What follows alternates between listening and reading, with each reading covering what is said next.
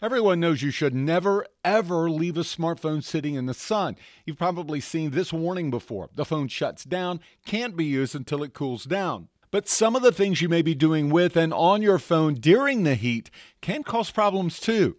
First, let's talk about inside the car. Yeah, it's easy to forget you've tossed the phone on the seat beside you. Keep it out of direct sunlight, even if you've got the air conditioner going full blast.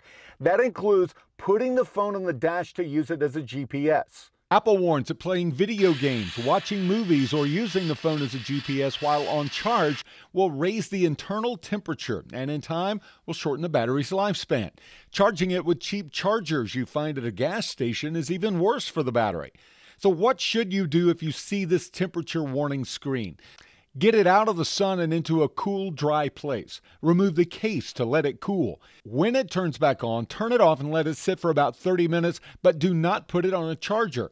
And do not put your phone in the refrigerator or freezer to cool it down faster. It doesn't work. Look what happens when I put an old phone in a fridge for just five minutes. When I took it out, condensation.